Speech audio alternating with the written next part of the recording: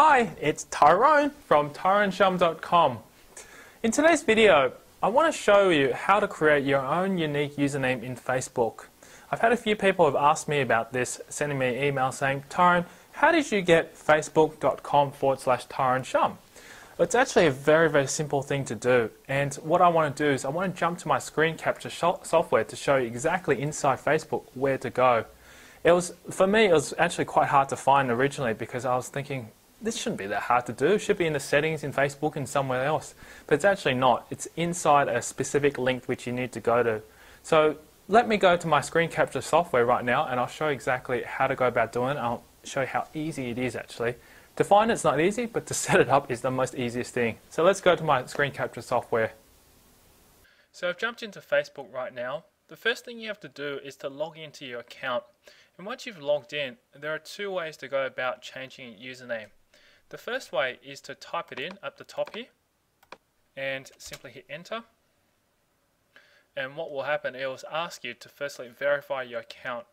Once you verify your account by getting them to send you a text message or SMS message to your mobile, then you can start to proceed by updating your username.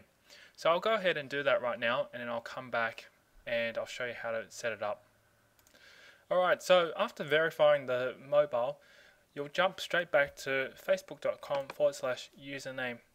Because I've also already chosen a username, and you can only do this once at most, it's not allowing me to change it to anything else. But basically, once you go to the screen, just follow the step-by-step -step instructions that show you exactly what to choose. Make sure you choose a good username that you'll never forget. And once you've done that, it becomes basically facebook.com forward slash Tyrone Shum and that's basically my username.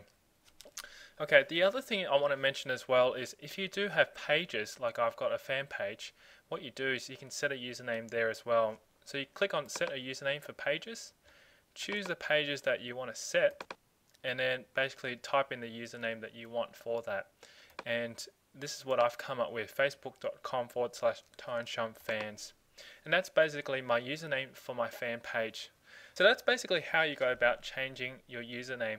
And the most important thing is make sure you choose the right one at the beginning because once you put it in, you can't change it anymore.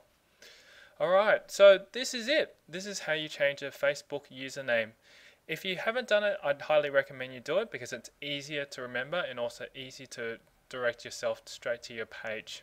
If you've got any further comments and you have any feedback that you'd like to leave, just leave it down on my posts anytime and I'd love to hear from you. Feel free to tweet this, put it on Facebook, do anything you like and share it around. Share the love.